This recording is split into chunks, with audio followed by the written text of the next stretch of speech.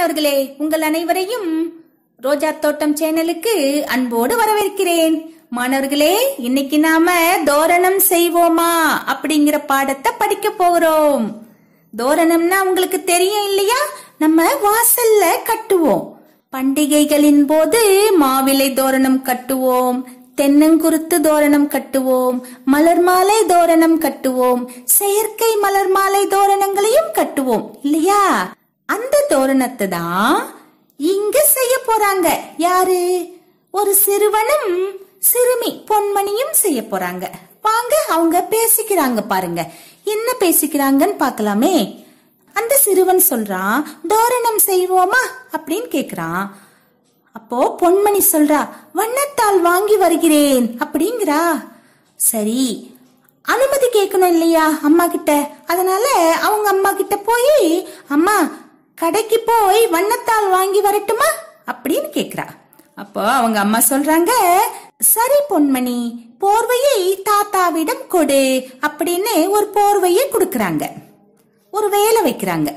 உடனே அந்த போர்வையை எடுத்துக்கிட்டு வந்து பொன்மணி அவங்க தாத்தா கிட்ட கொடுக்கறா. பாருங்க தாத்தா அப்படின்னு கூப்பிட்டுக்கிட்டே வரா. அங்கே தாத்தா எதையோ தேடிக்கிட்டு இருக்காரு. தரையில உட்கார்ந்து அப்ப கேக்குறா பொன்மணி தாத்தா என்ன தேடுகிறீர்கள்?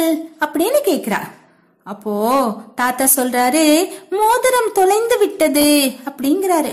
அப்போ தாத்தா இது உங்கள் மோதிரம் அப்படின்னு பொன்மணி தேடி எடுத்து தாத்தா கிட்ட குடுக்கறா. கிடைத்து விட்டதா? நன்றி அப்படின்னு தாத்தா சொல்றாரு. பாருங்க மாணவர்களே பொன்மணி அவங்க அம்மாக்கு உதவி பண்ணிருக்கா. போர்வைய கொண்டு வந்து தாத்தா கிட்ட கொடுத்திருக்கா. அப்புறம் தாத்தாவுடைய தொலைந்து போன மோதிரத்தையும் கண்டுபிடிச்சு கொடுத்திருக்கா. இல்ல? சரி அப்புறமா கடைக்கு போறா. போயிட்டு என்ன பண்றா? வண்ணத்தால் கொடுங்கள் ஐயா அப்படின்னு கடைக்காரர் கிட்ட கேக்குறா. கடைக்காரர் என்ன சொல்றாரு? இது தருகிறேன் என்று வண்ணத்தாள்களை தருகிறார்.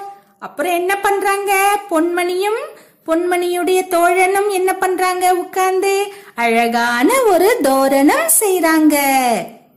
பாருங்க பொன்மணியுடைய தோழன் கையில எப்படி ஒரு அழகான தோரணத்தை வச்சிருக்கான் பாருங்க.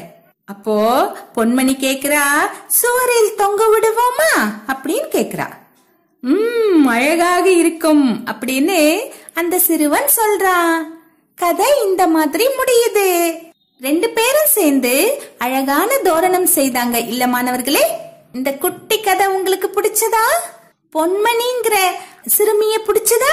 எனக்கு பிடிச்சிருக்கு. ஏன்னா பொன்மணி அனுமதி கேக்குறா ஒரு இடத்துக்கு போறதுக்கு முன்னாடி அம்மா கிட்ட அனுமதி கேக்குறா அம்மா சொன்ன வேலைய செய்யறா தாத்தாக்கு உதவி பண்றா. இல்லையா? இந்த மாதிரி தான் நாமளும் இருக்கணும். சரியா மாணவர்களே? சரி மாணவர்களே. வேற ஒரு பாடத்தோடு இன்னொரு நாளைக்கு நாம சந்திக்கலாம். அது வரைக்கும் டாடா பபாய்.